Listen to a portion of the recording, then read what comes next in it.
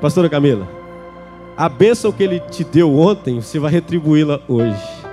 Porque ontem nós recebemos uma palavra tão poderosa, irmãos. E é um casal que a gente ama, respeita, admira. E se Deus quiser, na próxima longa viagem de moto. Cadê os motoqueiros? Tem alguém motoqueiro aqui? Aí, ó.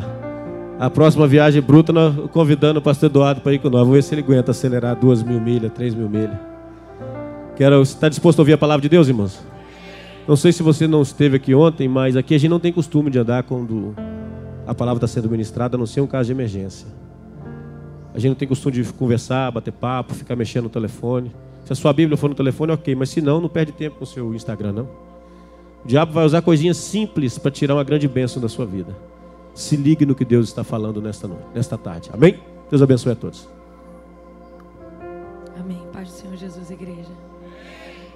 Aquele que vem após mim é maior do que eu. Estenda sua mão em direção ao altar de Deus.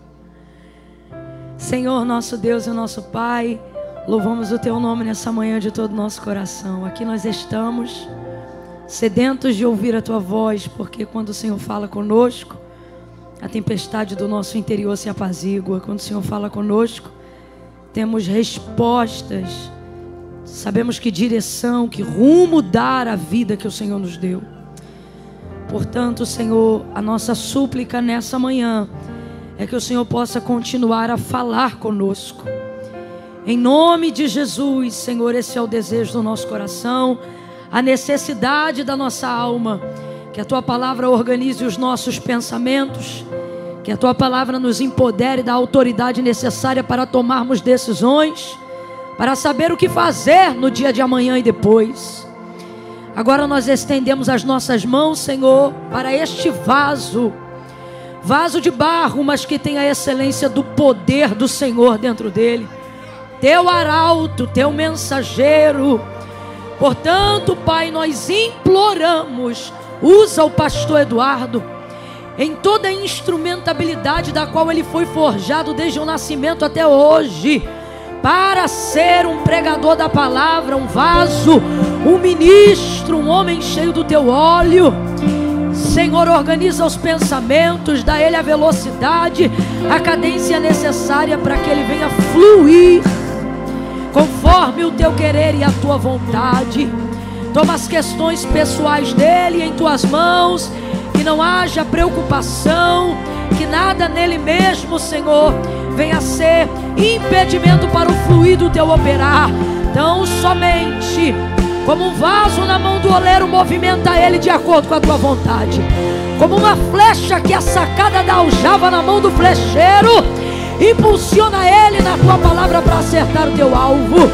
Como é a tecla nas mãos do Jack ou de qualquer outro instrumentista, como é, Senhor, as cordas na mão do melhor do melhor guitarrista. Ah, Senhor, usa ele como um instrumento leve e de fácil manuseio nas suas mãos. Purifica, abençoa e glorifica o teu nome. Em nome de Jesus, quem concorda, diga. Graças a Deus. Bom dia, meus irmãos. Paz seja com todos da parte do Senhor. Podem sentar-se, por favor. Que coisa boa, que oportunidade bendita. Nem parece que faz um ano, ou talvez um pouquinho menos, que eu estive aqui pela primeira vez e também a última, anterior. E estou feliz em retornar. É bom cultuar com vocês, é bom estar com vocês, é bom a gente participar do óleo da comunhão, né?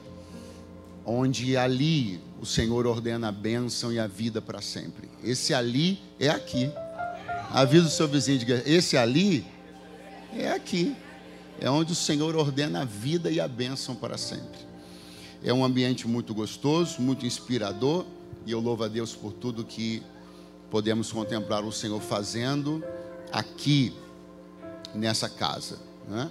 E a forma tão entusiasmada como todos vocês estão envolvidos no trabalho do Senhor, entusiasmada e entusiasmante. Porque às vezes você vê que uma pessoa está sozinha entusiasmada, mas é lindo perceber quando você está entusiasmado e o seu entusiasmo gera em outras pessoas também entusiasmo. eu saio daqui com muita vontade de melhorar de verdade em muitos aspectos da minha vida cristã, devocional, é, congregacional, por poder ter estado aqui e percebido tantas coisas que vocês estão plantando, cultivando no Senhor, e isso é muito, muito bom. Quero louvar a Deus pela vida do pastor Léo, da pastora Raquel, que nos recebe com muito carinho, né? Abrindo as portas aqui da casa, mas também da sua família, do coração, para a gente se aproximar, estar tá junto, ter tempo de mesa. É um tempo muito gostoso estar aqui com vocês. Que bom, que bom, que alegria, que alegria de verdade. Louvar a Deus pela vida do pastor Fabrício da pastora Elaine, muito queridos, muito queridos. É, imagino quanto deva ser tranquilizador para o senhor, pastor Léo, estar tá cercado de tanta gente boa, tanta gente boa, tanta gente agradável. E eu quero incluir nesses bons também agradáveis todos os demais obreiros que tiveram contato com a gente em algum momento, com um sorriso, com um abraço, com tanta coisa boa para ser comunicada da parte do Senhor. Muito obrigado. E por fim, não menos importante, agradecer aos meus amigos, né? Pastor Rogério pastora Suene, esse casal querido. Se eu pude estar aqui pela primeira vez no ano passado, isso se deu através da vida do Rogério, da forma como ele, não só nessa, mas em tantas outras oportunidades, se permitiu ser canal de Deus e porta do Senhor para a minha vida. Muitas igrejas eu conheci aqui na América pela primeira vez através da vida do Rogério. E essas sementes, Rogério, eu profetizo que tem um resultado extraordinário na sua vida. Sei que você semeia não só no meu ministério, mas de muitos outros colegas, abrindo portas, ajudando, sendo benção. Que isso redunde sobre você abundantemente e sobre a sua casa em nome de Jesus. Meus irmãos, quantos trouxeram a Bíblia Sagrada? Olha, 14 pessoas, muito bom. Quantos trouxeram a Bíblia Sagrada? Então pegue aí, por favor. E abra comigo no primeiro livro dos reis de Israel.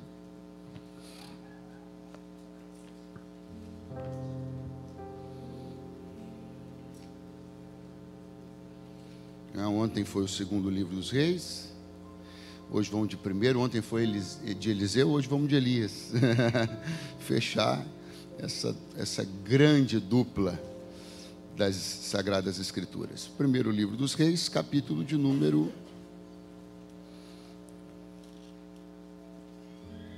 Só um minutinho, peraí.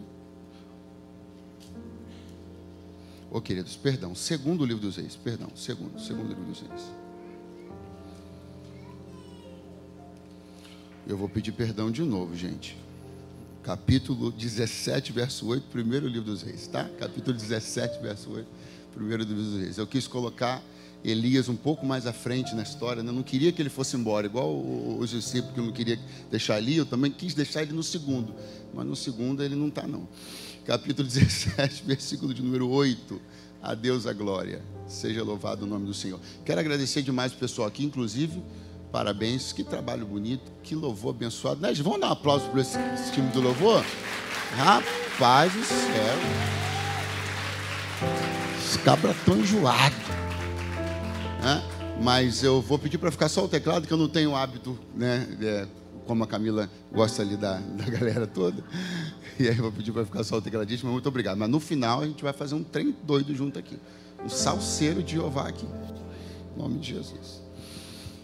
Quantos encontraram, digam bem forte, de forma convincente: Eu amo a Bíblia. Eu amo a Bíblia. Olha lá, hein? Então veio a palavra do Senhor, dizendo: Levanta-te e vai a Sarepta, que é de Sidom, e habita ali. E eis que eu ordenei ali uma mulher viúva que te sustente. Então ele se levantou e foi a Sarepta. E chegando à porta da cidade, eis que ali estava uma mulher viúva apanhando lenha, e ele a chamou e lhe disse: Traze-me, peço-te, numa vasilha, um pouco de água que beba. Indo ela a buscá-la, ele a chamou e lhe disse: Traze-me agora também um bocado de pão na tua mão. Porém ele disse: Vive o Senhor teu Deus. Porém ela disse: Perdão, vive o Senhor teu Deus, que nem um bolo tenho, senão somente um punhado de farinha numa panela e um pouco de azeite numa botija. E vez aqui apanhei dois cavacos e vou prepará-lo para mim e para o meu filho, para que o comamos e morramos. E Elias lhe disse: Não temas, vai e faze conforme a tua palavra. Porém, faze disso primeiro para mim um bolo pequeno e traze-mo para fora. Depois farás para ti e para teu filho. Porque assim diz o Senhor Deus de Israel: A farinha da panela não se acabará, e o azeite da botija não faltará, até o dia em que o Senhor dê chuva sobre a terra. Quantos podem dizer amém esta noite? E quantos têm um graças a Deus aí para entregar? Após ter entregado uma palavra que mudou o curso, os rumos da história de Israel, uma palavra que afetou diretamente o clima, as estações, fechou os céus e nem orvalho sobre a terra caía. Elias foi orientado pelo Senhor a se esconder, esconder-se no ribeiro de Querite.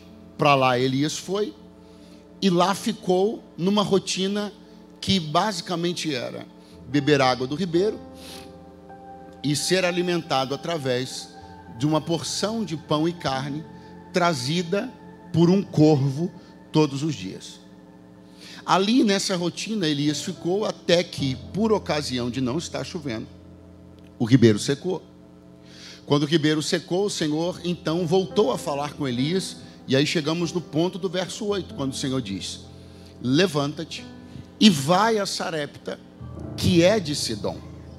Ali eu ordenei uma mulher viúva que te sustente. Essa forma de Deus apontar para Elias o lugar para onde ele deveria ir, ela já começa a comunicar, tanto Elias como também para nós, uma verdade muito importante. Porque, na verdade, não parecia ser tão necessário no que diz respeito à localização, a forma de achar o endereço não era tão necessário que o Senhor dissesse do jeito que ele disse. Ele disse, repita comigo, Sarepta, muito fraco, Sarepta, que é de Sidom. Não havia muita necessidade, do ponto de vista da forma como isso faria Elias chegar no endereço, não havia tanta necessidade. Porque é mais ou menos como. Cadê, quem, cadê os mineiros? Cadê os... Tem alguém que não é mineiro? Olha, tem muita gente. É, então eu diria, seria como dizer assim para uma pessoa que está em Minas Gerais: vá a Belo Horizonte, que é de Minas Gerais. Por que, que você precisa dizer que Belo Horizonte pertence a Minas Gerais para um mineiro? Não faz, não faz nem para o mineiro, nem para um carioca como eu. Se me disser vá a Belo Horizonte, acabou, eu sei que Belo Horizonte fica em Minas Gerais. Eu não preciso saber a que estado Belo Horizonte pertence na informação. Você está entendendo? Se Deus fala comigo, vá a Belo Horizonte, eu vou a Belo Horizonte. Se Ele diz para mim, vá a Vitória, eu vou a Vitória. Não precisa dizer, me dizer, vá a Vitória, que pertence ao estado do Espírito Santo. Por que, que o Senhor está fazendo questão de falar com Elias? Ele não vai atravessar o mundo, ele vai para um povo vizinho. E por que o Senhor está fazendo questão de dizer para ele: você vai a Sarepta com uma com um adendo, ela pertence a Sidom. Porque o Senhor está querendo ressaltar essa informação e envolver esse país no plano, Sidom. Porque Elias tinha uma arqui-inimiga. Quem sabe o nome dela? Qual é o nome dela? Qual é o nome dela? Jezabel era a arqui-inimiga de Elias de Jezabel veio tudo de ruim, que acabou provocando todos os desdobramentos em relação à idolatria de Israel, porque ela, quando casou-se com Acabe, ela foi para Samaria levando toda o costume é cultico e idólatra que ela tinha. Os deuses estrangeiros foram conhecidos por Israel através de Jezabel. Foi Jezabel quem apresentou para Israel é, é, é, Baal, Astarote, foi tudo, tudo veio na bagagem da Jezabel. Então, os problemas de Elias, por assim dizer, tinham uma ligação direta, fisicamente falando, com Jezabel. Com quem? Com quem? E, pastor, o que isso tem a ver? Muito, muito simples. 1 Reis, capítulo 16, verso 31, dá-nos uma informação. A Bíblia diz para nós que Jezabel era Sidônia. Então Jezabel vinha de Sidom. O lugar para onde o Senhor está mandando Elias ir e dizendo a ele que uma mulher viúva o sustentará, ou seja, se tornará sua amiga, sua aliada. É o mesmo lugar de onde vier a sua arque inimiga. Então o que eu quero que você compreenda essa noite, essa manhã é o seguinte: Deus tem seus aliados em todo lugar. E Deus pode, inclusive, para fazer o nome dele ainda mais elevado e fazer essa história ainda mais bonita, levantar seu maior aliado justamente no terreno onde saiu seu pior adversário. Se alguém pode levantar as mãos essa manhã, eu quero profetizar surpresas de Deus. Recursos virão de onde você não espera, milagres virão de onde você não espera, geografias que você tinha condenado, como geografia de onde não se poderia vir nada de bom, o Senhor vai dizer: não é só Jezabel e Sidom, também tem viúva que ouve a minha voz lá. Eu vou te mostrar que em cada canto desse país, eu vou te mostrar que, inclusive no seu país, eu tenho gente minha. As cidades que você andou amaldiçoando, dizendo que não tem nada que preste mais para você lá, eu vou te mostrar que a terra é minha, a plenitude é minha, o mundo é meus, que habitam neles são meus, e eu vou suscitar aliados dos lugares mais improváveis, diz o Senhor. Eu queria que você olhasse para alguém e dissesse: aliados. Muito fraco, diga: o Senhor vai levantar aliados para você, para o seu ministério, para o seu negócio, e eles vão sair dos lugares mais improváveis para o Senhor te mostrar que Ele tem gente dele em todo santo lugar. Ele não precisava dizer, mas ele disse. Ele disse: Ei, Elias, Sarepta é de Sidom. Veja que curioso. E para ficar muito bom, Elias, se você tem uma arque inimiga, vou te levantar uma grande aliada justamente para não correr nenhum risco da fama das mulheres ser maculada por causa de Jezabel. Então eu vou levantar uma outra mulher com um comportamento e um coração diferente, vindo do mesmo lugar, mas com coração e espírito diferentes. E aí, sobre essa palavra, vai Elias para encontrar-se com a pessoa que o Senhor havia dito. Quando Elias começa a se movimentar, num dado momento da sua caminhada, sai a viúva de Sarepta da sua casa e começa também uma jornada. E Elias e a viúva de Sarepta vão se encontrar. Pergunte onde? Está no texto. Eles se encontraram à porta da cidade. Inclusive é interessante como esse lugar parece ser um tanto quanto favorito de Deus para mudar histórias de viúvas porque a viúva de Naim também se encontrou com Jesus na porta da cidade. Então, na porta da cidade de Sarepta está a viúva de Sarepta, apanhando lenha. Quando chega Elias e encontra-se com ela. Então eu quero que você compreenda que o encontro entre Elias e a viúva aconteceu numa porta. Vamos de novo. O encontro entre Elias e a viúva aconteceu numa? Numa. Pergunte por quê? Porque portas se atraem. Olhe para mim. Quem foi Elias para a viúva de Sarepta, se não uma porta? E quem foi a viúva de Sarepta para Elias, se não uma? E onde eles se encontraram? Porque portas se. Quando você se abre para ser porta de Deus para alguém, você percebe como o mundo espiritual começa a se movimentar e promover encontros de portas. Deus não tem o menor prazer em apresentar portas para quem não se presta ao papel de ser porta. Eu convido você a descobrir uma beleza linda do Evangelho. Ser porta de Deus para a vida de alguém, ser acesso para alguém, ser facilitador e não complicador, ser cooperador. Eu convido você a contrariar a cultura maligna deste mundo, aonde as pessoas se atrapalham, se embaraçam, aonde a competitividade tira do homem o prazer de servir e ser útil, ser porta, ser pão, ser óleo, ser bênção na vida de alguém. Essa manhã de domingo aqui, eu não sei se você percebeu, é um culto da Getsemane? É. É o quinto aniversário? É. Mas também é uma grande, um grande encontro de portas. Aleluia. Pega a mão de alguém que está do seu lado, dá uma chacoalhada nele e diga: Você sentou-se do lado de alguém que é porta, porque portas se atraem. Eu profetizo que grandes negócios vão acontecer no meio dessa comunidade. Eu profetizo que gente vai conhecer gente por causa de alguém que essa pessoa vai apresentar. E quem vai apresentar é você. Portas se atraem, portas comunicam graça. Perceba o poder de ser porta de Deus na vida de alguém. Essa é uma contracultura desse mundo. É uma contracultura. E nada melhor para ser igreja do que ser e operar na contracultura. A igreja opera justamente nessa frequência, na contracultura desse mundo. A cultura desse mundo é uma cultura de inacessibilidade.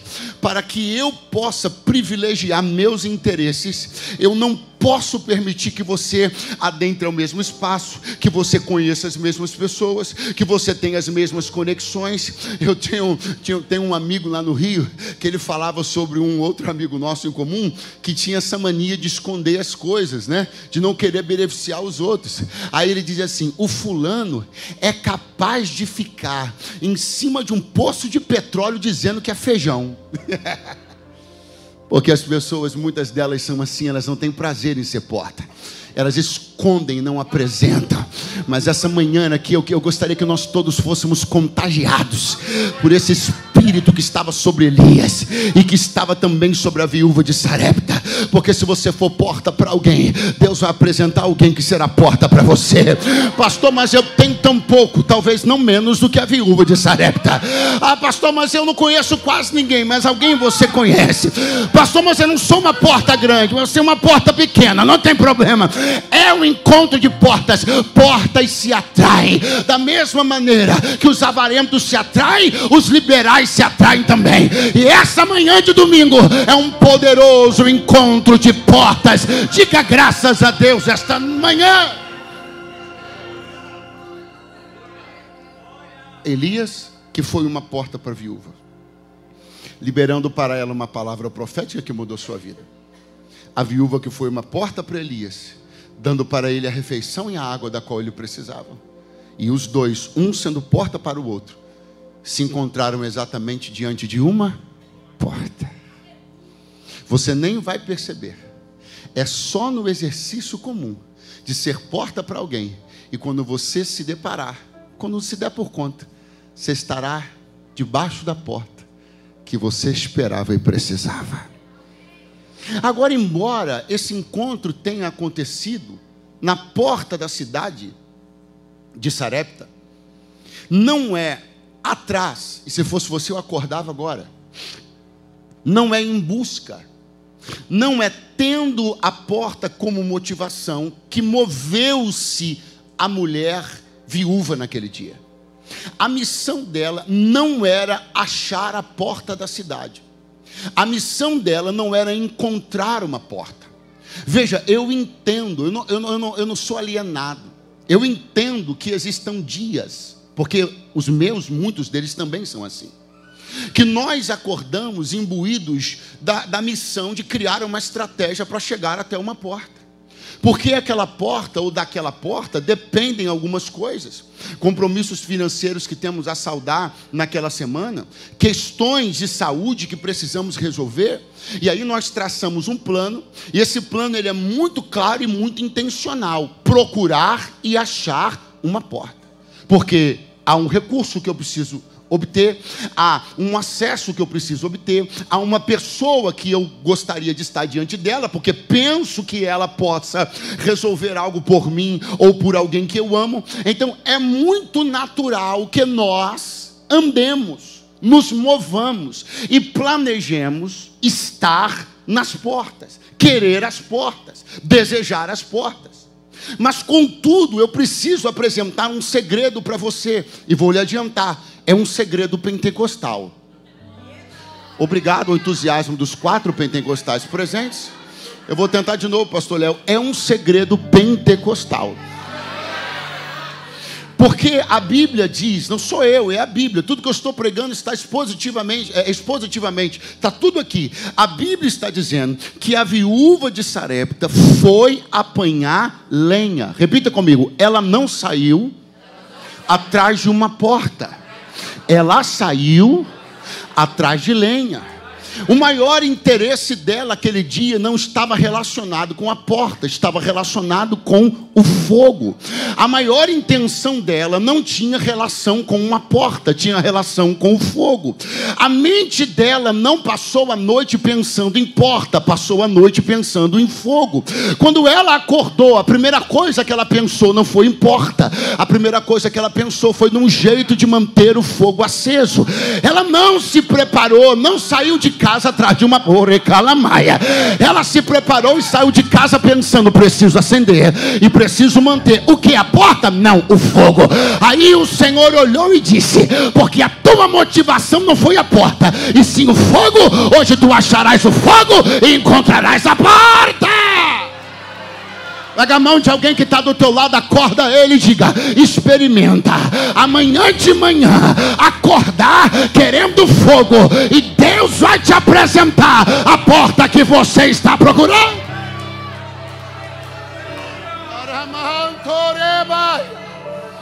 Que hoje eu durma pensando no fogo.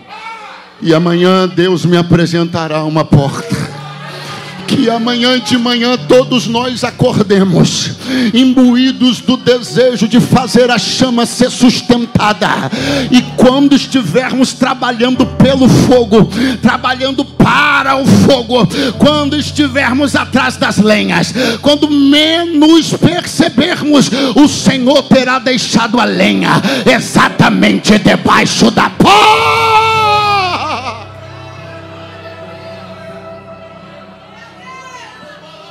Vamos fazer isso. Vamos fazer isso. Eu estou te dizendo com todo o meu coração: vamos fazer isso. Eu entendo você, entendo suas buscas, entendo as questões que têm apertado você, eu entendo as questões que são urgentes. Não, não, não fique olhando para mim como se eu fosse um alienado vindo de uma realidade diferente da sua.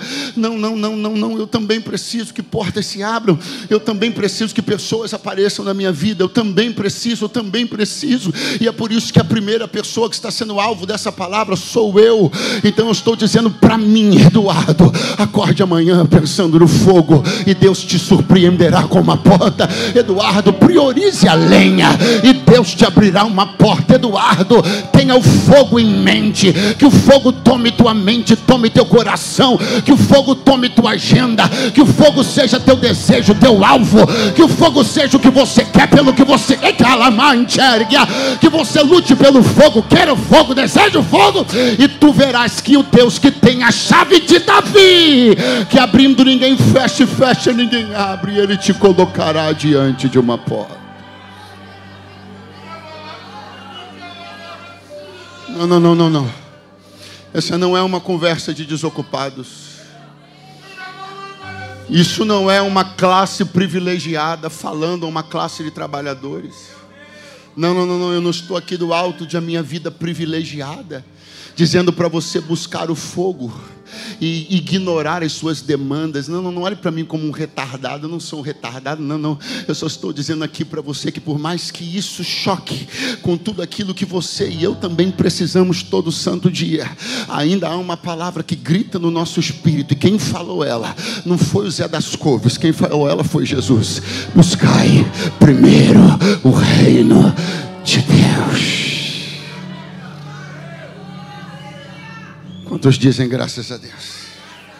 É na busca pelo fogo que o Senhor te abrirá uma. É na busca pelo que o Senhor te abrirá uma. Vai buscando o e você vai se deparar com uma. Aleluia.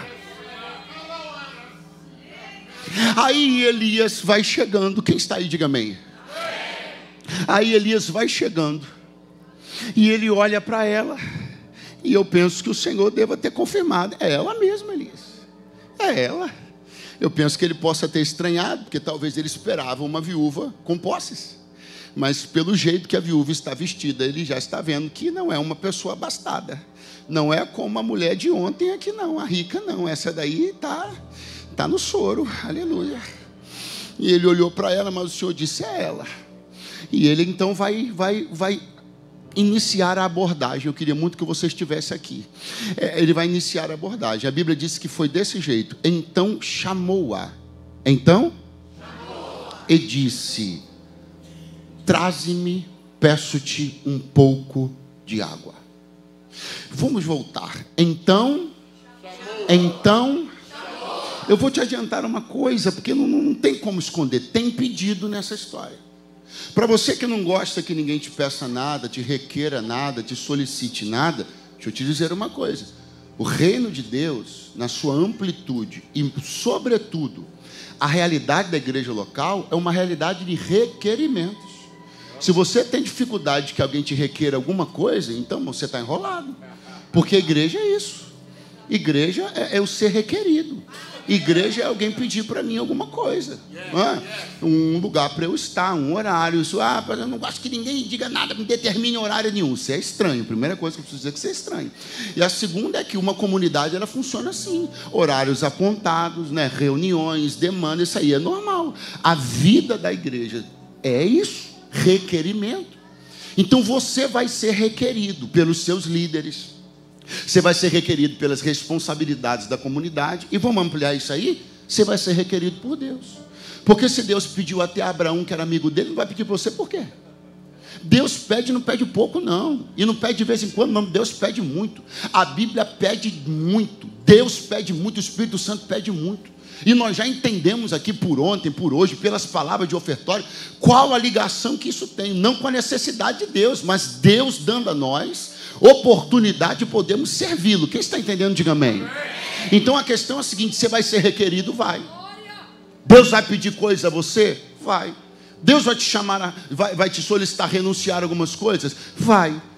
Como fez com a viúva? Sim. Mas veja o que aconteceu. Foi pedido algo a ela? Sim ou não? Mas aconteceu alguma coisa antes disso, não aconteceu? Primeiro Elias a chamou. Então teve pedido, sim ou não? Mas antes teve chamado. Pastor, qual a notícia que você tem que me dar? Te dou agora. Deus só pede a quem primeiro ele chama. Então, se você está sendo requerido por Deus acerca de qualquer coisa, eu tenho os parabéns para te dar, porque não Deus não pede aos seus estranhos, Deus pede àqueles a quem ele chamou primeiro. A chamada precede o pedido. Deus não é um intruso nem um inconveniente, ele pede a quem ele chamou. As árvores que ele procura fruto são aquelas a quem ele plantou. Ah, põe um sorriso no teu rosto, põe um cadinho de alegria nisso aí. Não se permita permita ser invadido por esse tipo de pensamento que quer tirar de você o prazer da utilidade do serviço, como se a igreja fosse uma máquina que produz o tempo inteiro demandas para gente que já tem muitas demandas. Não, não, não. Deus só pede a quem Ele chama, e Deus só pede depois de chamar. Você foi primeiramente chamado, convocado. Você foi primeiro trazido às fileiras, arrolado. Primeiro você foi escrito no livro da vida. Deus só pede porque você entrou para o time. Você está entendendo? Deus só pede porque você já não é uma viúva qualquer. Você é uma viúva chamada. Ah, pastor, mas eu estou sozinho nessa cidade. Mas não é um sozinho qualquer. É um sozinho chamado. Chamado, chamado, chamado. Diga comigo, viúva. Pobre, mas chamada. Aquelas alturas quando Elias pediu a viúva, ela já tinha recebido o milagre, tinha muito em casa àquela altura já? Sim ou não? Sim ou não? O marido dela ressuscitou, sim ou não? Então ela ainda era viúva e ainda era pobre, mas já tinha sido. Se você olhar para a tua vida hoje, pode parecer que não mudou nada. Se você olhar para a tua vida hoje, pode parecer que nada mudou desde que você chegou nessa igreja desde que você compareceu nesse altar. Mas eu te convido a entender que você ainda pode ser viúva, pode ser que ainda seja pobre, mas tu não és mais uma viúva catando lenha na porta da cidade. Tu recebeste um chamado, um chamado, e esse chamado vai começar a revolucionar a tua vida inteira. É por causa desse chamado que Deus vai entrar na tua casa e vai mudar tudo. É por causa desse chamado que você vai dividir tua história entre antes e depois de ter sido chamado. Eu só queria que quem sente-se chamado e compreende a grandeza disso, levantasse as mãos por alguns segundos e abrisse a boca com sonoros glórias a Deus.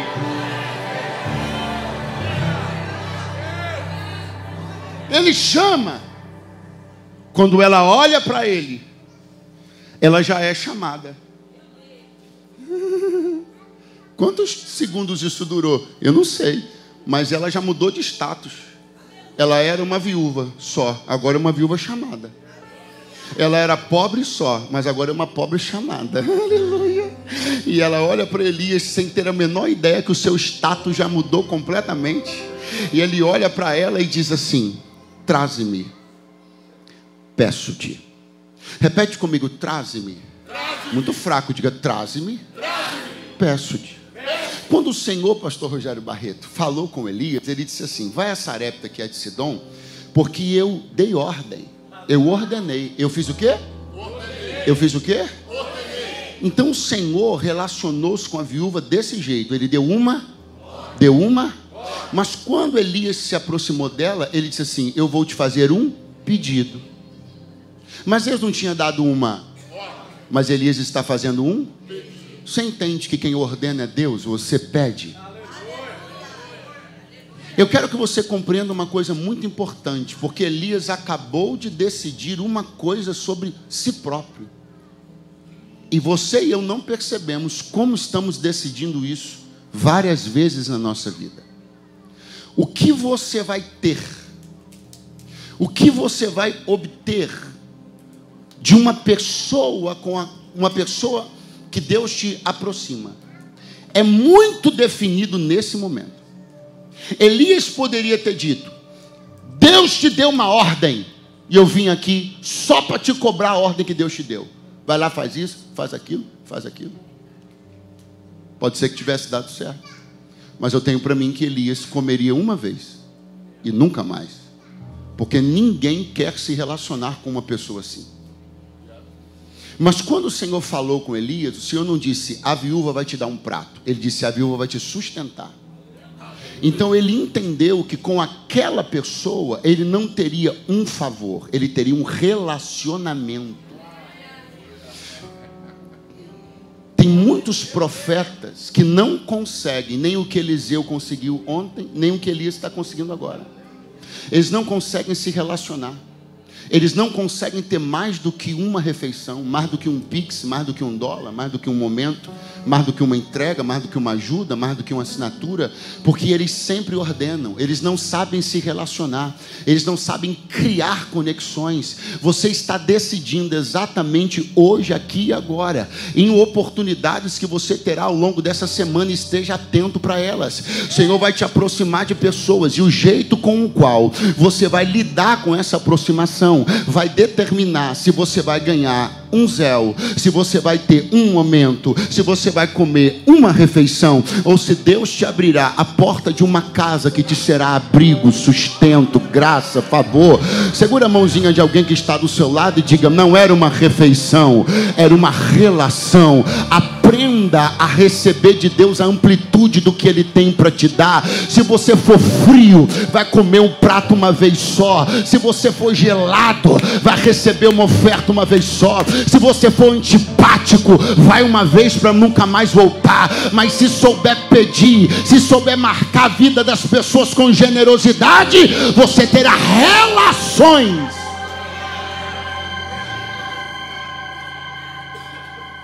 Diga comigo, andar sozinho não é bonito. E eu vou te mostrar que Elias até achou que andar sozinho era bonito em algum momento. Vou te falar qual. Elias teve uma coisa que eu chamo de vaidade da solidão. Num momento, lá no Monte Carmelo, ele estava sozinho, olhou para essa tribo de Israel, para os profetas de Baal e falou assim: Só eu fiquei por profeta do Senhor. Vaidade da solidão. Só eu fiquei. Eu sou o único profeta, só eu fiquei. Agora, essa mesma frase, Elias repetiu com outro sentimento. Quando ele estava deprimido, derrotado, querendo morrer, e o Senhor mandou ele caminhar só um cadinho, queria falar com ele até o um monte. Quando ele saiu da caverna, ele falou para Deus: Só eu fiquei por profeta do Senhor. Foi a mesma frase com outro sentimento. No Carmelo, ele estava se achando o máximo, vaidoso pela solidão de ser o único profeta. Mas depois ele percebeu como a solidão é pesada e quis até morrer e falou para Deus: Eu sou o único profeta, como Deus, o Senhor me deixou sozinho. A solidão é construída por nós mesmos quando nós vemos beleza nela. Não existe beleza em andar sozinho. Eu queria que você segurasse a mão de alguém do teu lado com firmeza para ele perceber que a coisa é séria. Diga para ele: não há beleza em andar sozinho. Deus está te convidando a andar com alguém. Deus está te convidando a frequentar a casa de alguém, a permitir que a sua casa seja frequentada para alguém. Não é um prato, não é um dia, é uma relação. Deus quer te dar isso de presente. Em algum momento a Bíblia diz que Elias, na, vi, na casa da viúva de Sarepta, comeu carneiro? Não. Em algum momento a Bíblia diz que Elias foi sustentado pela viúva de Sarepta com mel, leite, iguarias? Não. Eu vou dizer uma coisa a você. Entre. Alguém está aí ainda? Alguém ainda está aí? Entre o momento do corvo e o momento da viúva de Sarepta, o cardápio de Elias não melhorou. Eu vou até arriscar, piorou. Porque o corvo trazia carne e não há registro que Elias comia carne na casa da viúva. O cardápio parece ter declinado, mas a companhia melhorou. Nós só avaliamos a evolução com base no cardápio, mas evolução se mede com base na companhia. Não veja o que você está comendo agora, veja com quem você está comendo agora. Não veja só o que está na sua mesa agora, veja quem está a sua mesa agora. Não olhe só para o prato, olhe para as cadeiras. O jeito de Deus mostrar que está te abençoando não é só trocando o seu cardápio, é trocando as pessoas que sentam nas cadeiras da sua mesa. Eu estou profetizando que houve tempo. Aí eu vou dizer do jeitinho que o Senhor está me mandando. Houve tempo que foram corvos, só chegavam e saíam, só entregavam e sumiam. Mas o Senhor me trouxe para dizer: não mais. Eu vou te colocar para habitar no meio de gente boa, gente confiável, gente santa, gente íntegra. Eu não vim aqui jogar conversa fora. atravessei o oceano, não vim jogar conversa fora. Teve gente aqui que foi sobreviveu pegando pão da boca de corvos. Você comeu pão, comeu carne, mas você sabe que embora a carne e o pão te sustentassem, quem trazia e quem servia não era digno da tua companhia. Você sabe que você sentou-se durante semanas, meses, quem sabe até anos e o Senhor disse: Não faltou pão, não faltou carne. Agora, da boca de quem vinha, hoje tu dá glória a Deus, porque não vem mais da boca dos corvos. Não é só o que você come, é a boca de quem te serve. E eu quero que você queria muito que você se alegrasse porque você está numa casa, e eu não estou aqui dizendo que é a única, porque embora eu ame muitíssimo o pastor Léo, ele sabe muito bem que ele não é a única voz profética desse país, não é a única igreja idônea. De... Não, não, não é. Graças a Deus por isso nós estaríamos em maus lençóis. Então eu não estou dizendo que é a única, mas quero que você dê um glória a Deus, porque você não está comendo hoje da boca de corvo, você está comendo da boca de profetas. Diga aleluia. Às vezes é só para sobreviver, você entende? Não tem como se relacionar. É só pegar o pão, a carne e sobreviver. Até Deus abrir uma porta onde você possa se relacionar. Alguém me entende, por favor? É isso aí. É, é isso que o Senhor está falando. Aí o profeta. Alguém ainda está por aí? Diga amém, por favor. Eu sou assim mesmo. Eu vou, volto, acelero, desacelero. É assim. Então, o profeta falou: Traze-me, peço-te. Aí ele falou uma coisa que eu demorei a entender profeticamente, porque me parecia assim muito desnecessária. Ele disse assim: ó, traz numa vasilha um pouco de água. Se eu peço água para alguém, eu não sinto a necessidade de dizer onde a pessoa vai ter que carregar, Rogério. Por quê? Eu não tenho, não tenho essa necessidade, eu só preciso pedir água. Se eu preciso pedir água para alguém, no mundo antigo, essa pessoa vai buscar em casa, eu só digo, filha, traz água para mim. Eu não preciso dizer para ela, ó, traz na botija. Eu não preciso dar orientações acerca de como e onde ela deve carregar aquele recurso. Bom, eu não preciso, mas Elias se viu nessa necessidade, porque ele é profeta. Ele é o quê?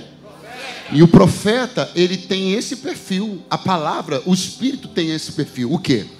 Orientar você acerca de como você lida com o recurso, onde você carrega o recurso, o que você precisa usar para continuar tendo o recurso que você tem. Pastor, onde o senhor quer chegar? Já cheguei. As mãos são boas? São boas. Elas agarram? Agarram. Segura? Segura. Eu poderia tranquilamente segurar esse iPad. Posso tranquilamente segurar esse celular. Posso segurar essa Bíblia. Mas, se eu tiver que sair daqui caminhar uns dois quilômetros para levar uma água para o meu amigo Rogério, eu prefiro levá-la nesse copo. Se eu levá-la nas mãos, não chega lá nem a metade. Existem recursos, existem coisas que você pode carregar com as mãos. Já outras, se você tentar segurar sozinho, corre pelo teu dedo. Deus me trouxe aqui para dizer, eu não quero filosofar não, eu estou sendo profeta. Deus me trouxe aqui para dizer uma coisa para você, suas mãos são boas. Você tem firmeza, você é bom, mas comece a entender que nem tudo dá para você segurar sozinho. Tem pão que você segura com a mão, tem água, pede ajuda para a botija. Se existe botija, por que, que você está carregando água com a mão? Se existe auxílio, por que, que você está tentando lidar com isso sozinho?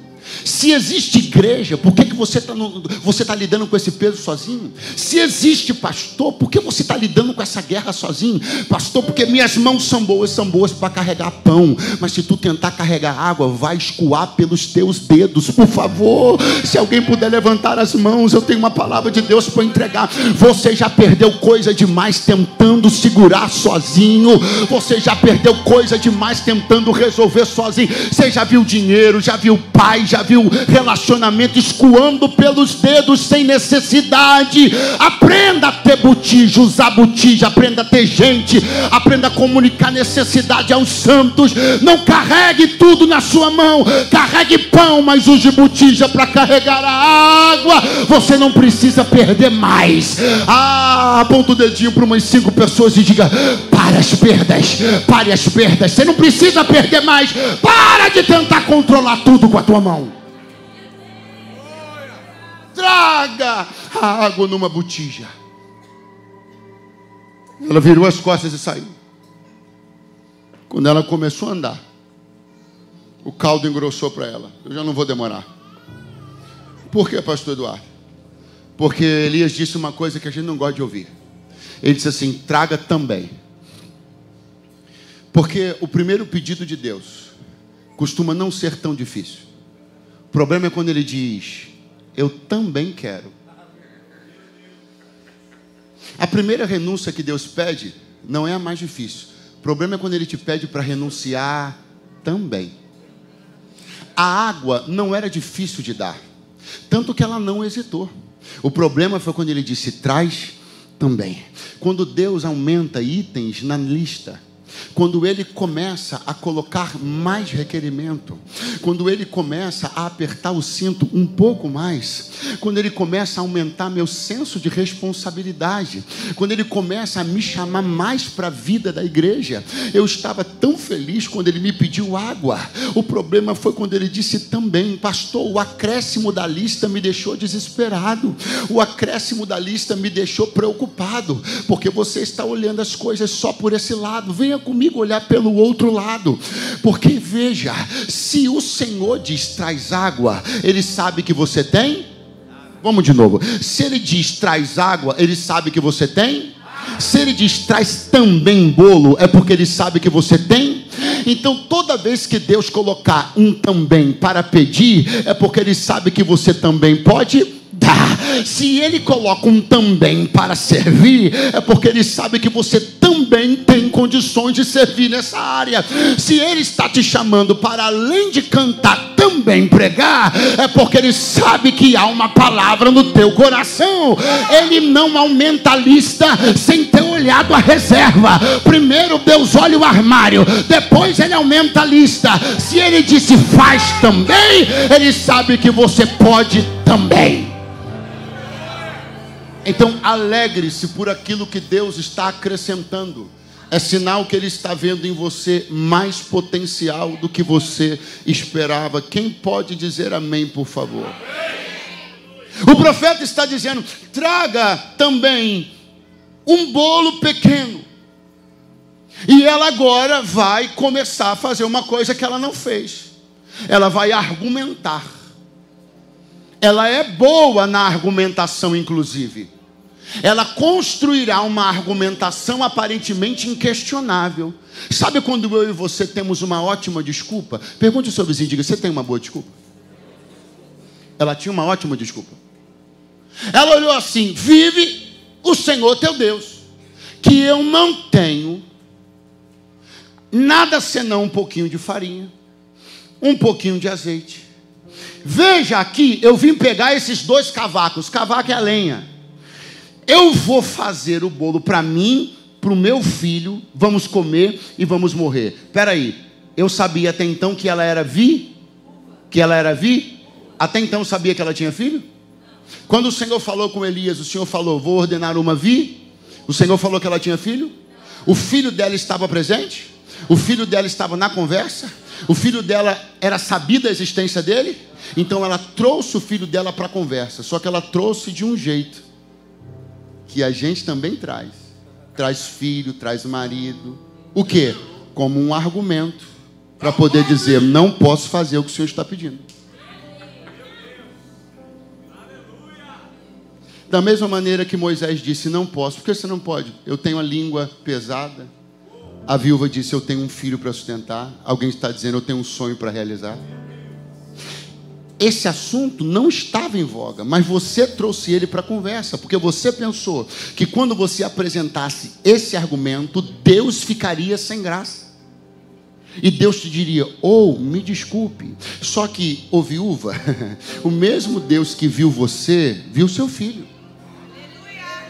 O mesmo Deus que deu ordem para Elias pedir a você, sabia que você tinha um menino em casa significa que nada a respeito da sua vida ele ignorava quando te chamou, nada a respeito dos seus dramas pessoais ele ignorava quando te escolheu. Pastor, mas eu estou em crise no casamento, mas ele já sabia, e não adianta você trazer a crise para o casamento com uma razão, ele está dizendo, você não está entendendo.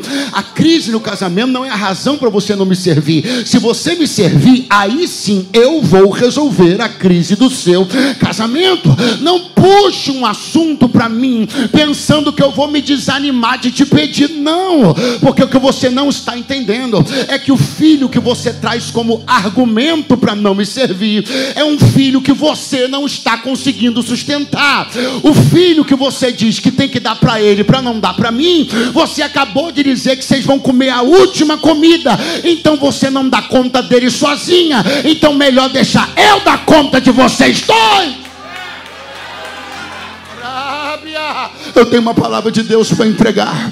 Aquilo que Deus vai fazer não vai rachar a tua casa. Aquilo que Deus vai fazer não vai rachar seu casamento. Aquilo que Deus vai fazer não vai tirar seu filho dentro de casa. Não. Quando ele chegar, vai comer você, vai comer seu filho, vai ser abençoado você, vai ser abençoado sua esposa. Ele não vai dividir, ele vai unir, ele não vai rachar, ele vai colocar no lugar. Tem alguém essa manhã para dizer glória a Deus aqui? Não venha me falar do seu filho como se ele fosse uma razão.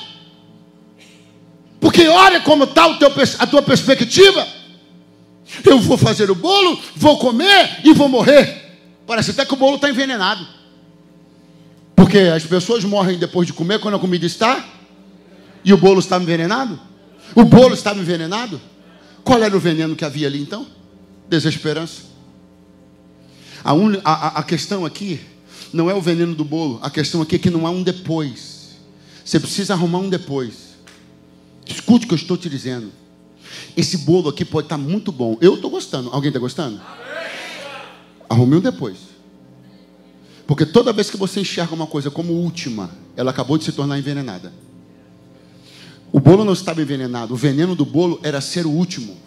Quando ela enxergou o bolo como último, ela disse: Não tem nada depois. Quem não tem nada depois se afunda na tristeza. Quem não tem nada depois se afunda na depressão. Quem não tem nada depois volta a pensar nos vícios que um dia o acorrentaram.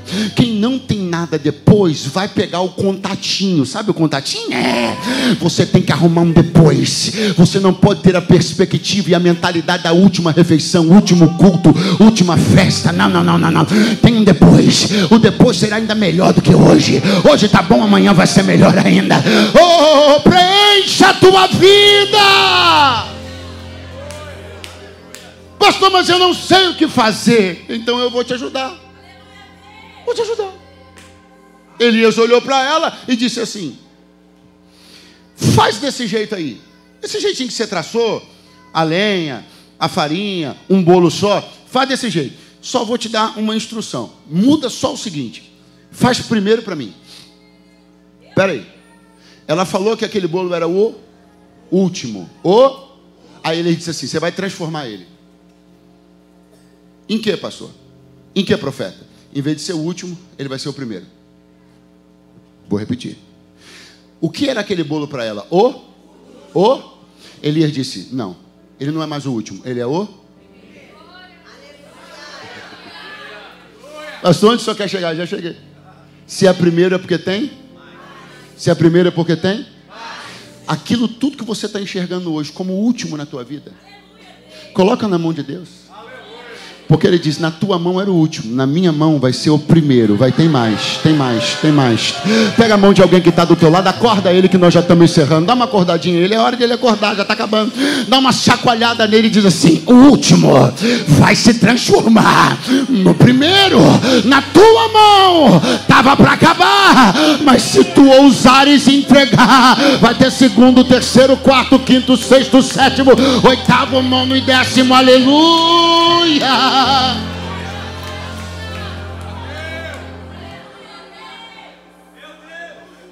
E o senhor, o senhor, o senhor vai comigo? Não, eu fico aqui.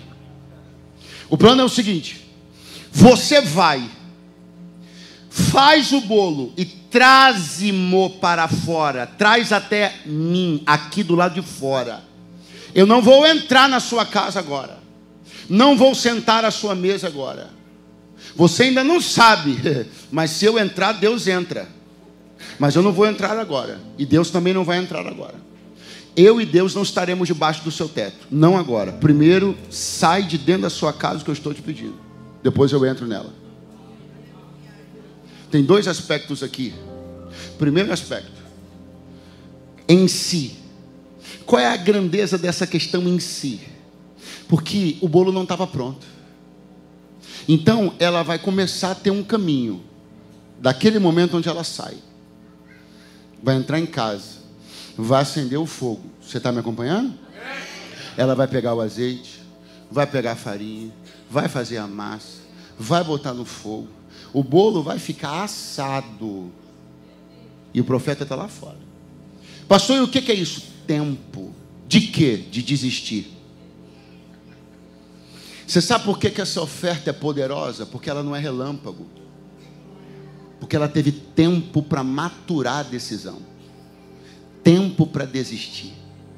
Enquanto o bolo está assando, o moleque está olhando para ela, achando que o bolo é para ele. Enquanto o bolo está assando, ela está sendo visitada por uma série de pensamentos: quem é esse cara? Será que ele é profeta mesmo? Eu nunca vi esse cara na minha vida. O que, que eu estou fazendo? Estou pegando um único recurso. E a, a guerra mental. E nessa guerra, a renúncia dela está ganhando poder no mundo espiritual. A oferta.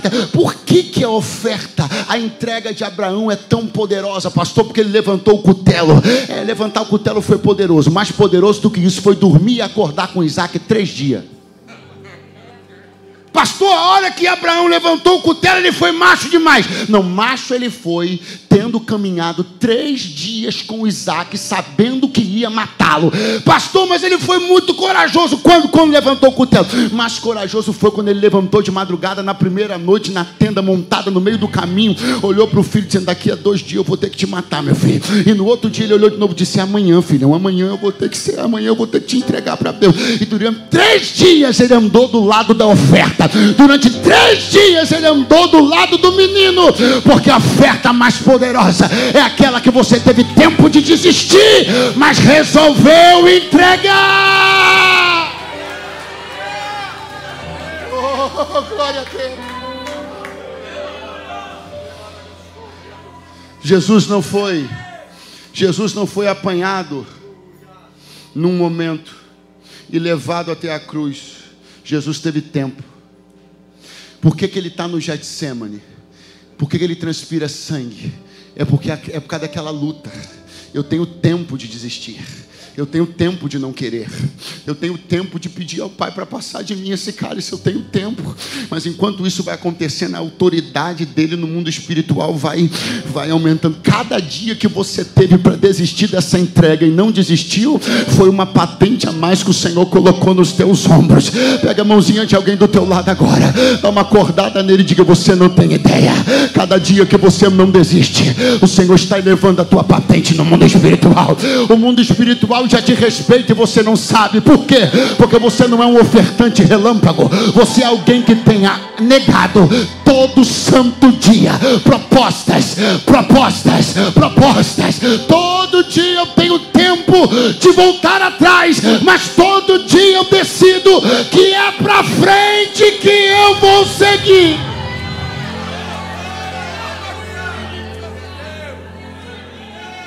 E agora? Que isso sair da tua casa, agora eu entro na tua casa. Agora que você teve coragem de pôr isso para fora da tua casa, agora eu e Deus vamos entrar na tua casa. Aí vem o sentido 2. E eu vou falar bem calminho, bem devagarzinho. Existem coisas que enquanto não saírem da sua casa, Deus não vai entrar. O Senhor está dizendo: coloca para fora algumas coisas, e eu me assento com você à mesa logo depois. Tenha coragem de tirar da tua casa algumas coisas, e eu vou colocar as minhas coisas na tua casa. Tenha coragem de tirar da tua casa algumas pessoas, e eu vou colocar gente minha dentro da sua casa. Elias vai olhar para ela. Eu encerro aqui, ele vai dizer assim: então recebe aí. Está pronto para receber, irmão? Você não está com cara de que está. Está pronto para receber? Portanto, assim diz o Senhor: a farinha da panela não vai acabar, e na botija o azeite não vai faltar, até que chova novamente sobre a terra. Eu confesso a você que nunca havia dado tanta atenção a esse poderoso detalhe. Que esse milagre tem estabelecido um prazo de validade. O Senhor não disse através de Elias para a viúva: Vou te sustentar até o seu último dia de vida. Não.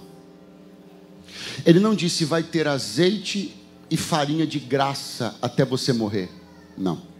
Ele disse: Eu dou azeite e farinha para você até que volte a chover. Quando quando Elias estava lá no monte, e quando ele mandou o moço olhar, e o moço falou: tem uma pequena nuvem. E quando ele disse, vai, disse para Cabe que se apressar para o caminho de Jezreel, senão a chuva pega ele lá. Quando Acabe saiu correndo, e a primeira, alguém ainda está aí? Amém. Alguém ainda está aí? Eu estou olhando a viúva lá em Sarepta. A viúva lá em Sarepta, indo na cozinha. Ontem tinha azeite. Ontem tinha farinha. E vem ela chegando na cozinha. E Elias está lá no monte. E ela na cozinha. Quando Elias dá o grito lá, e a primeira gota cai do céu, quando a viúva olha para a panela, não tem farinha. Quando ela olha para a panela, não tem azeite. Que isso, pastor? Ué, foi o que Elias falou. O Senhor vai mandar enquanto não estiver chovendo. Quando voltar a chover, Deus não vai fazer mais. Pastor, mas é, é eu estou com essa cara porque está ruim de receber essa notícia. Não, você não, você não, você não entendeu onde isso fica bom. Eu preciso que você entenda que existem milagres que vão acabar. Por uma razão. Pergunte qual? Você não vai precisar mais. O que a gente não entende é que existem milagres que vão até até que volte a chover até que as coisas se organizem, até que você volte e recupere sua saúde até que você se levante de novo com no exercício dos seus dons. Até, o Senhor está dizendo, não está chovendo. Por não estar chovendo, eu vou fazer de forma sobrenatural essa provisão. Mas quando voltar a chover, você volta a poder produzir seu azeite e sua farinha. Quando eu fizer chover sobre a terra de novo, você não vai mais precisar desse milagre. Pastor, então eu não vou mais precisar de milagre? Não, você não entendeu. Eu disse que você não vai mais precisar desse milagre. Aleluia. Eu me lembro do Senhor olhando para Israel na travessia do Mar Vermelho, dizendo: Ei Israel, os inimigos que hoje vistes, nunca mais os vereis para sempre. De quem o Senhor estava falando? Dois egípcios, sim ou não? Israel veria ainda dezenas, centenas de outros inimigos, mas aqueles nunca mais os veria. Pastor, eu vou parar de precisar de milagre? Não, você ainda vai precisar de muitos milagres, mas esse que você precisa hoje, assim te diz o Senhor, daqui a pouco você não precisará mais.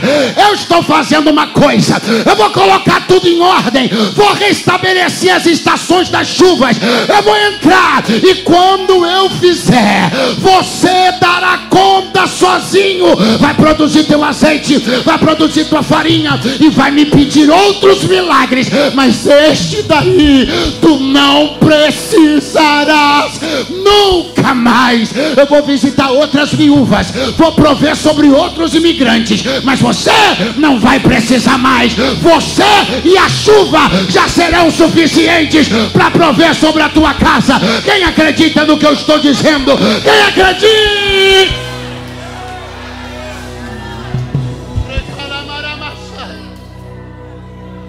Porque o que Deus quer é que você vá. Deus não quer dar essa assistência para você pelo resto da sua vida. Eu fui grato a Deus. Eu fui grato a Deus. E a Camila também foi. Nós somos gratos a Deus. Quando nos primeiros meses do nosso casamento, eu olhei lá para baixo e vi meu pai subindo as escadas com uma cesta básica da igreja no ombro. Eu fui grato a Deus. Mas eu fui mais grato a Deus ainda. Quando não foi mais necessário que uma cesta básica da igreja entrasse na minha casa. Porque é até que eu faça chover sobre a terra Quando Deus faz chover, algumas coisas que você precisava, você não vai precisar mais. Quando Deus faz chover, algumas assistências e milagres que você precisava, você não vai precisar mais. Então levante a tua mão mais alto que você puder, porque o Senhor me trouxe para dizer uma palavra. Está chegando a hora de eu fazer chover. Está chegando a hora de eu fazer chover. Está chegando a hora de eu fazer chover. E quando eu fizer chover, meu povo vai trabalhar, vai crescer, vai empreender, vai prosperar, vai pedir outros milagres, mas azeite e farinha não vai precisar mais de milagre.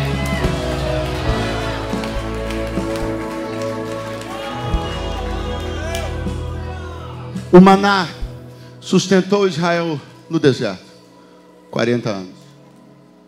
40 anos Deus fabricou na sua padaria o pão para Israel. Mas não sou eu. É a Bíblia quem diz que no dia, na hora, no instante exato que Israel colocou os pés na terra prometida, diz a Bíblia desse jeitinho: e cessou o maná. Você entende que algumas coisas precisam cessar para que outras comecem? Você entende que ficar sem o maná é uma grande notícia para quem está com os pés na terra prometida? Não vai ser muito claro para alguém entender, mas você vai botar um sorrisão e vai dizer: cessou maná. Você vai botar um sorrisão e vai dizer: Deus não está mandando mais nem farinha e nem azeite lá em casa. E alguém vai dizer: Você é louco, você está rindo por quê? Ele vai dizer: Porque ele disse que eu não preciso mais desse milagre. Aleluia! Dá um pulo da tua cadeira, fica de pé do teu lugar agora. Você vai entrar numa estação nova. Ah, eu preciso de alguém para crer. Você vai entrar numa estação nova, novos desafios virão, mas esses, esses nunca mais. Novos milagres tu precisarás, mas desse, desse tu não precisará mais. Novos milagres, esses não mais.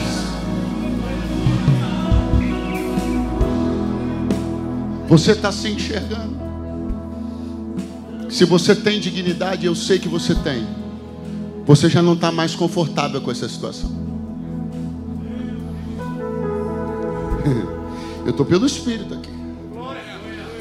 Se você tem dignidade, eu sei que você tem. Você já não suporta mais viver de socorro em socorro. Você já não suporta mais ter que ver aparecer farinha e aparecer azeite, porque você sabe que não dá conta de prover.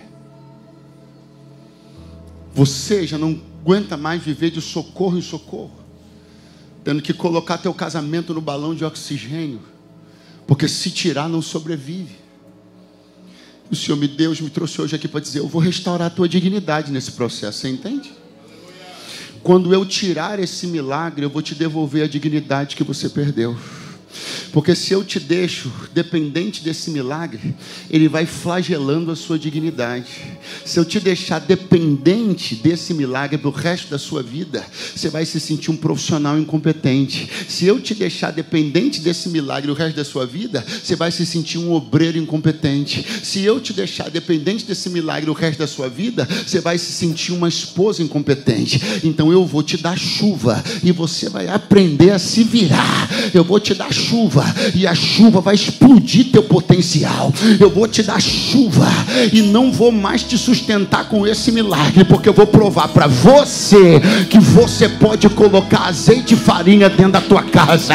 Eu vou provar para você que você pode ser feliz no teu casamento. Eu vou provar para você. Eu dei amparo, dei assistência, dei milagre até aqui, mas hoje te diz o Senhor, eu estou começando um ciclo novo na tua vida. Se tem alguém para crer nessa palavra, levanta a mão para o alto, abra a tua boca, por alguns segundos ousadamente diga: Glória a Deus, glória a Deus, glória a Deus, porque milagres terminam, glória a Deus, porque a farinha para, glória a Deus, porque o azeite cessa, glória a Deus.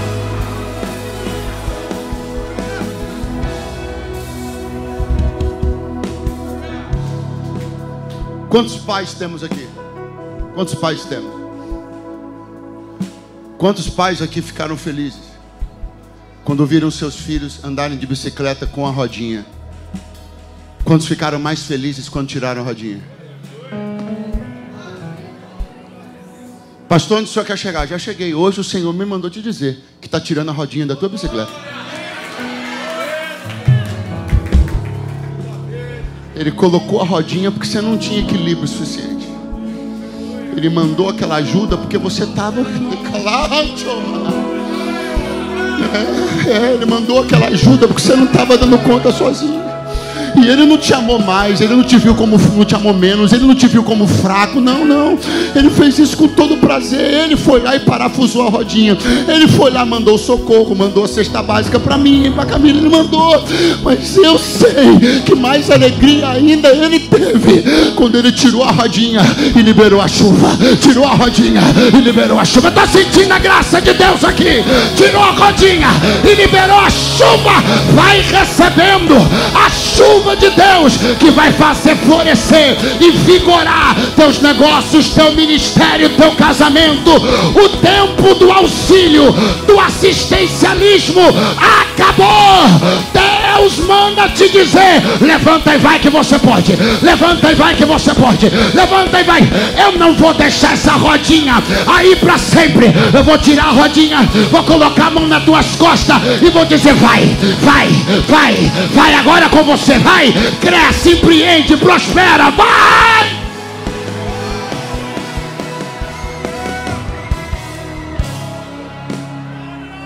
Glória a Deus.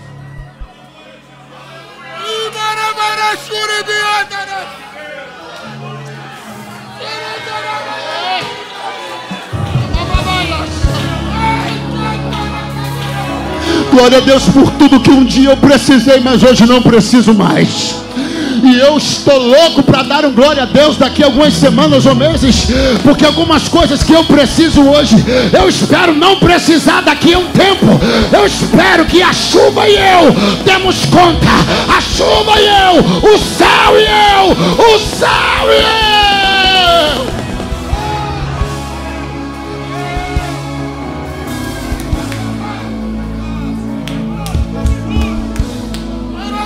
Eu vou te falar uma coisa. Alguém vai pensar que eu estou jogando com emoção. Mas eu te digo a verdade, em Cristo não minto. Eu penso, pastor Léo, que foi desse jeito. Segura a mão do seu vizinho para a gente terminar junto. Meu Deus, o pastor me deu uma hora, eu tive coragem de usar uma hora e treze. Prega! Prega! Eu vou te falar uma coisa que eu creio no meu espírito. Eu creio que foi desse jeito. Viúva acordou e foi lá. Por que, ela foi lá? Porque Deus sempre manda. Sim ou não? Ontem tinha. Então eu vou lá. Ele tem me ajudado durante esses últimos três anos. Vou lá. Quando ela olhou para a panela, para a botija e não viu azeite, quando ela olhou para a panela e não viu farinha, ela riu. E a voz do profeta veio no ouvido dela. Três anos atrás ele disse: quando acabar o milagre, é porque vai ter chuva. Ela saiu da cozinha, foi na janela e olhou lá para a banda de Israel e a essas alturas não era a pequena nuvem que o menino viu. A essas alturas a nuvem já tinha crescido. Da janela da casa de Sarepta, a viúva olha e diz: Está chovendo lá. Se está chovendo lá, é por isso que a farinha acabou aqui. Mas se está chovendo lá, o Senhor me liberou. Se está chovendo lá, o Senhor me autorizou. Se está chovendo lá, ei menino, vem cá, vem cá, me dá a mão. Tá vendo? Não tem farinha. Ô oh, mamãe, vou chorar, não chora não. Tá vendo, filho? Não tem azeite. Ô mamãe, eu vou chorar, não chora não, filho. Não olha para a panela, não olha para a botija. Olha lá para o céu. Tá chovendo, filho. Deus é com a gente, filho. Deus é com a... Eu te convido. Não olha para a panela, não olha para a panela, não olha para a botija. Olha para o céu. Olha para o céu. Olha para o céu. Deus é contigo. Deus é contigo. Deus é contigo. Deus é contigo. Deus é contigo. Dá um abraço em alguém do teu lado agora e diga: Deus é contigo. O céu é contigo. Deus é contigo. Ele não deixou de ser com você. Ele só está te ajudando de outro jeito agora. Antes era milagre, agora é chuva, chuva, chuva, chuva, chuva. Ele não te abandonou.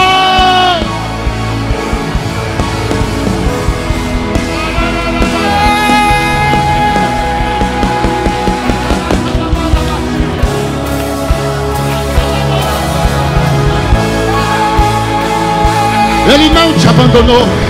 Ele não te abandonou. A farinha acabou, mas Ele não te abandonou. O azeite acabou, mas Ele não te abandonou. Quem te ajudava não está te ajudando, mas não é porque Ele te abandonou, é porque Ele está dizendo: vai, agora é contigo, agora é contigo, agora é contigo.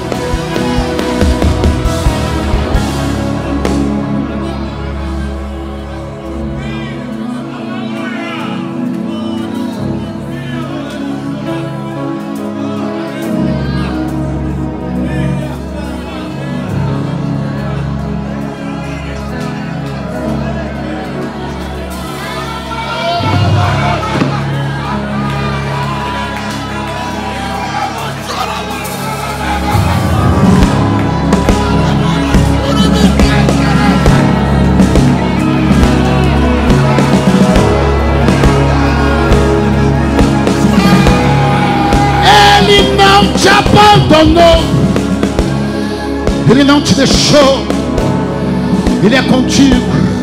Como há três anos atrás Ele é contigo, como no ano passado Ele é contigo.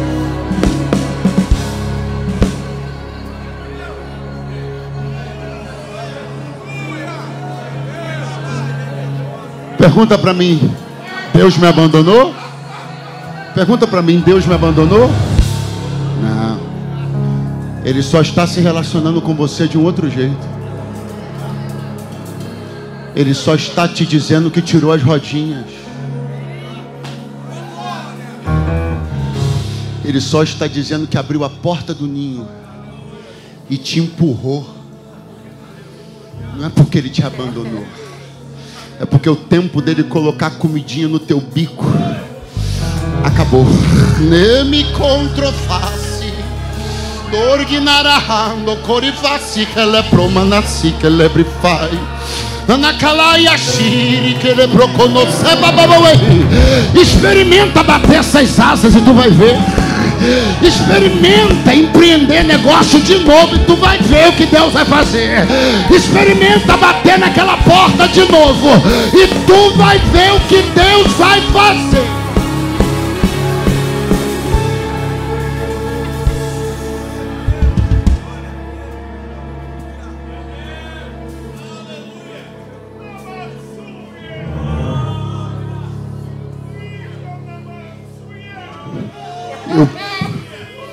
Pastor Eduardo, eu pensei. Quando eu procurei azeite, não achei. Quando eu procurei farinha, não achei. Minha conclusão foi que Deus tinha virado as costas para mim. Mas hoje eu estou entendendo que não era isso. Era só Ele dizendo: Estou tirando a rodinha. Eu só estou querendo que você viva algumas experiências que você passe a contar mais com a chuva do céu e entenda que se o céu te ajuda, você consegue. Não foi isso que você pensou. Você pensou que Deus tinha te deixado. Vamos falar sério, foi o que você pensou. Quando o milagre cessou, você se viu deixado. Quando algumas coisas que vinham acontecendo pararam de acontecer, você disse: Deus me deixou.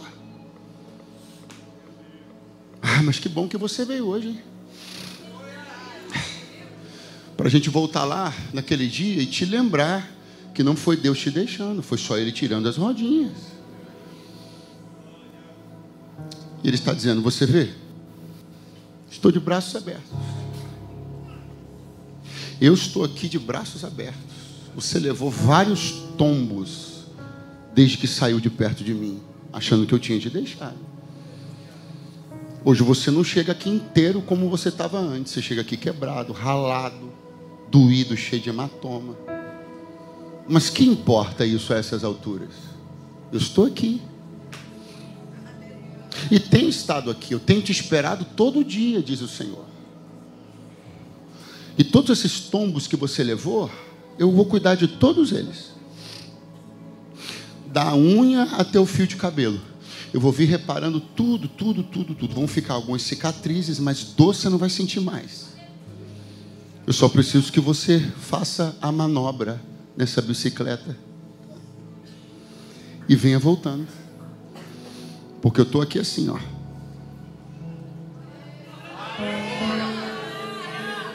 Vem chorando, vem ralado, não fica pensando que eu vou te julgar, que eu vou ficar apontando os seus ferimentos, dizendo assim, aí ah, eu não precisava, se tivesse me ouvido, não, não.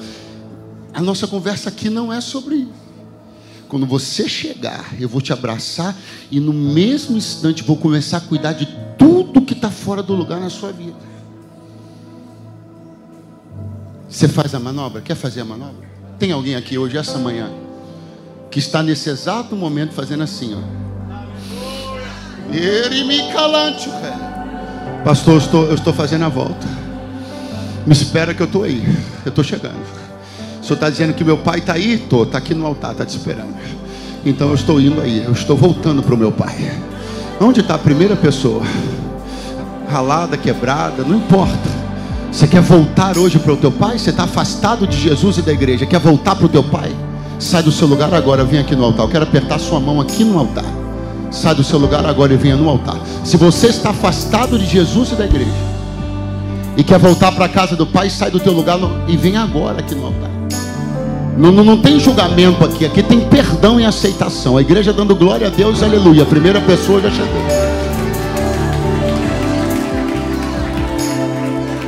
E aí, meu irmão, você está acompanhando ela? Coisa boa, Deus te abençoe, filho. A segunda pessoa está chegando aqui no altar. Cadê você? Ah, é porque você foi muito longe. Ah, entendi. É que você foi muito longe, aí demorou para fazer o retorno, né? Tudo bem, eu te espero, venha. Cadê a terceira pessoa que está fazendo o retorno? Cadê a terceira pessoa? Sai do teu lugar agora e venha no altar. A terceira pessoa já está aqui.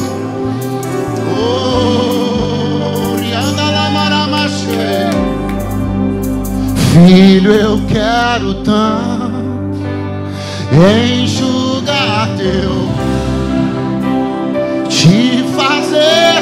amei. Cadê você? Sai do teu lugar e volta agora. Eu te amo tanto, tanto, tanto, tanto. Filho, vem ser meu. Filho, eu quero ser. Escuta isso aqui, ó. Ó, escuta isso aqui, ó. Eu vou te envolver em meus mistérios no manto da minha glória. Eu vou desenrolar o rolo santo, mudar a tua história. Sai do teu lugar se você quer ver. Sai, sai. Eu vou fazer de ti vaso de honra. É, eu vou envergonhar os que te zombam. Eu vou te dar vitória. Pastor, eu não posso voltar porque eu nunca fui. Tem um lugarzinho para mim hoje aqui? Lugarzinho não. Tem um lugar de honra. Você que nunca fez uma aliança com Deus na sua vida dentro de uma igreja evangélica. Sai do teu lugar, vem no altar agora render-se a Jesus. Se você nunca confessou Jesus como teu Senhor. Se você nunca fez uma aliança com Deus da Bíblia. E se você quer fazer isso hoje, sai do seu lugar agora e venha no altar. Agora, correndo, venha no altar agora. Eu vou passar para o pastor Léo em 30 segundos. Em 30 segundos, quem estiver aqui vai ser ligado ao reino de Deus. Você está entendendo? Em 24 segundos, quem estiver aqui vai ser transportado do império das trevas e levado ao reino do Filho do amor de Deus Pai. Em 17 segundos, quem tiver aqui vai ter os pecados perdoados e o nome escrito no livro da vida. Em 15 segundos, cadê você? Sai do seu lugar agora e vem no altar. Seja bem-vinda, querida. Pastor Léo, Pastor Léo, Pastor Léo. São nove segundos. Pastor Rogério, oito segundos. Cadê você? Vem, vem. Em seis segundos a bênção de Deus vai ser derramada aqui. Você ainda pode vir se você quiser.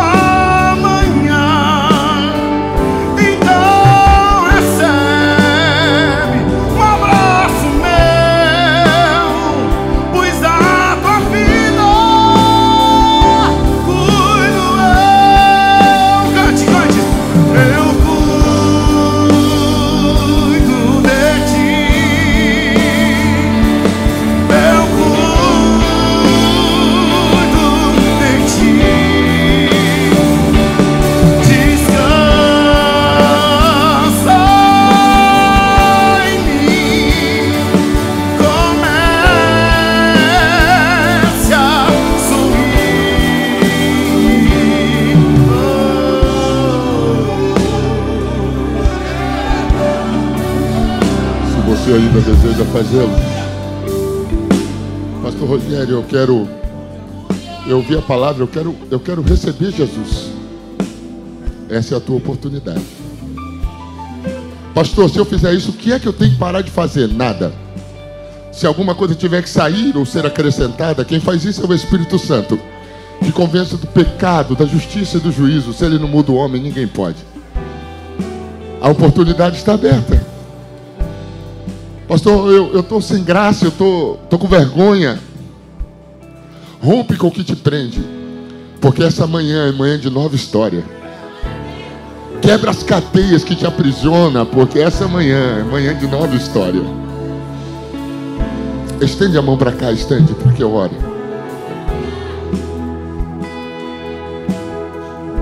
Deus está fazendo uma revolução na família do Jordan. Não.